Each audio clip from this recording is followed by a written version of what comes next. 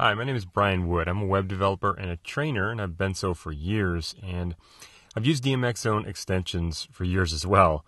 So, what I'd love to do is take you through and show you guys how to work with the HTML5 slideshow and the behavior connector. That's what we're going to focus on in this video.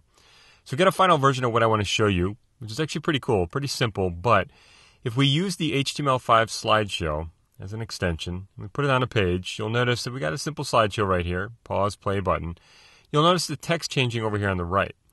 Now, what we're going to do is we're going to use the behavior connector to create a div and have the div content or the text of the div change when the image changes over here in the HTML5 slideshow. So let me go back over to Dreamweaver and I've got a start page open here and we'll start from scratch. So I've got a div available and what I want to do is insert the HTML5 slideshow. So we'll start there. So I've got this my cursor out here. I'll get rid of this text Come over to the right. I've got my insert panel. You can go to the insert menu as well. Click HTML5 slideshow. And it's going to load it up here, and we can name it whatever we want. Now, I've already got my images sized. So we could use the DMX Zone image resizer, which automatically resizes your images. But like I said, I've already done those, so I'll turn that off. Come down here, I'm going to add my images. So I'll click Add New Image Slide. Now that allows me to go in and pick files. I've got a, I'm just going to do a couple here. I, we could load this up with a bunch of pictures, but I just want to pick a couple. So I'll do coast. There it is right there. I'll do one more. I'll do fountain. So what we're going to do is we're going to work on this site that is going to show off some different things that we have. So we've got uh, you know fish to sell, things like that. So what we're going to do is we're going to show our new location and we're going to show a koi pond that we have available. Now, if you notice here, you're going to see that the slideshow is pretty much done. I could go in and reorder these, change them, but what I'd like to do is just change the titles of these. So I'll come to Coast here and say um, new location, something like that. I'll come to Fountain and say that this is our koi pond, let's say. Now what I want to do is I want to create a div and have text change every time, like I said, these show up.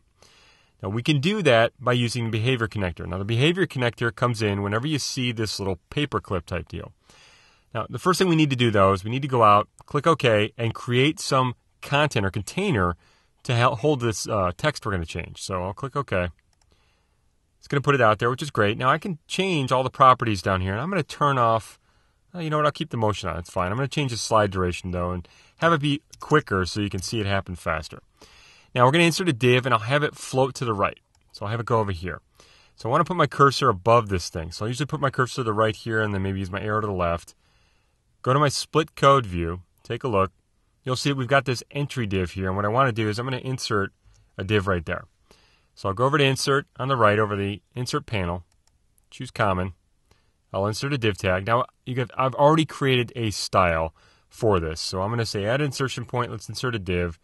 And my ID style I called slide content. Now, to do this, to have the picture change and roll over and have it pinpoint a certain div, let's say it's a div, uh, we need to use an ID. Okay, so you're not going to use a class for this necessarily.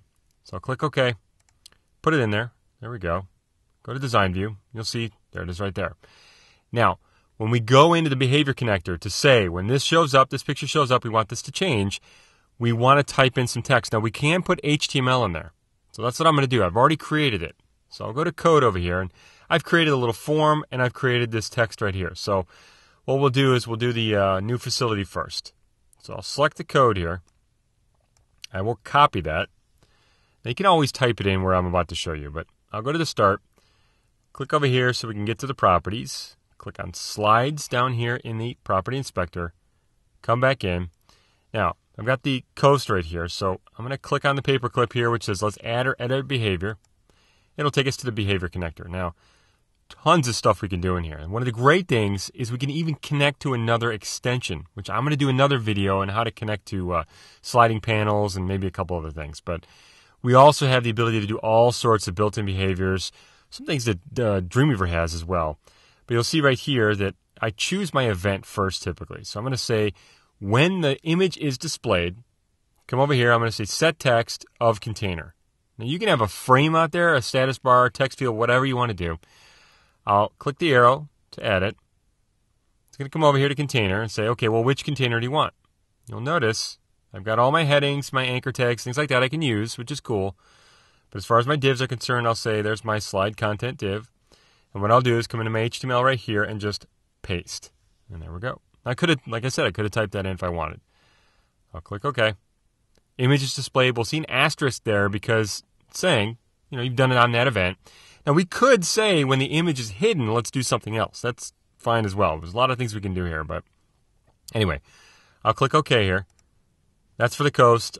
You'll notice the paperclip add edit behaviors is now red. So if I were to click on fountain, you'll see it's actually a bluish color. So if it's red, typically that means something's been done to it. I'll click OK. And I'll test it out. So I'll go out to the browser. And I could test in live view, I don't like the uh, the motion as much in here. So we'll just see what it looks like, like let's say in Firefox. Now, when you guys do save this and you ins- insert the uh, you know the HTML5 slideshow and things like that, it will ask you to you to grab a bunch of files and maybe upload them. Uh, but I've already done that because you could see that I already had a demo going. So, so there we go. It's automatically put out there on new facility site. And you can see we've got the player out here, which I can change and move around, that sort of thing. Now, last thing I'll do is just one more. So I'll come back. I want to make sure that before I go to slides down here, I'll go to my code. I'm going to grab this form and this heading tag here. So we can do a lot of things with this. We can put pictures, just about any HTML you can think of. I'll copy that. I'll go to index start, go to slides. Once again, go to fountain here instead. Click on the add edit behaviors. Image is displayed. Come to set text, and you guys try anything in here. There's tons of stuff you can do, which is really cool. I'll add it. Wait a second. Let it figure out all the containers. It has to go through the whole page, you guys, to find all the containers. I'll say slide content, and I'll paste my stuff in there. I'll click OK, and there we go. I'll click OK to that. Turn red. There we go. Click OK. Now that I have the content in there, what I'd like to do is make a few changes, but let's go take a look at it again first. So I'll go to Preview in Firefox, save it. Take a look out here. You'll see new facility site. Go to the next one. Join our Koi Club. There we go. Now, of course, they're going to have to pause this to be able to access that because it'll flip to the next screen, that kind of thing. But they'll figure that out pretty quickly. So Another thing I want to do is I can control the controller here. I can change position, change the text, put it up here, that sort of thing, or make a change to this content. So let me do that. I'll go back. Got it out here. I'm going to go to slides down here in the property inspector. And you can see I've got my two images in here. And what I'd like to do is just make a change here to the Koi one where they fill in a form. I'll click on the little add edit behaviors right here, little paper clip. You can see I've got the images displayed, set text of container. We can add several behaviors here if we want to in a row. I mean, you can do a lot of different things here. Different events, same event, multiple behaviors. I'll click configure selected behavior. Should bring it in. It's got to think about it, look at everything. And then, you know, what I'll do is I can add changes, make changes here pretty quickly. So I'm going to say, I'm going to add height to this. I'll say like height of 30 or something like that. And I'll just copy paste that. I just want to make my rows roughly the same height here. Just paste that there. Click OK. And there we go. I'll click OK. Now, another couple things we could do is if I go to Advanced over here, I'll click on the Advanced tab. We could do things like I said, change the controls, put them in different positions, you know, put them at the top, bottom, do not hide them, that sort of thing. That would actually be pretty cool. That way people could see that, you know, if they're going through and they want to be able to pause it and fill out the form, that sort of thing, they can auto hide or not auto hide that. So, anyway, I'll click OK to this. I'll save my page. Now, one last little thing here, you guys, it takes a second to load the text in if that picture takes a little bit. So, what I would do is in this div here, I just type in something cheap like this loading. Why not? You know what I mean? Put a heading in there, do whatever you want. Format that div, put a background image, background color, whatever you'd like to do. It's up to you. All right, let me save it, take a look at it. Once again, you could look at it in live view. I just don't like the Ken Burns effect in live view. So, new facility site.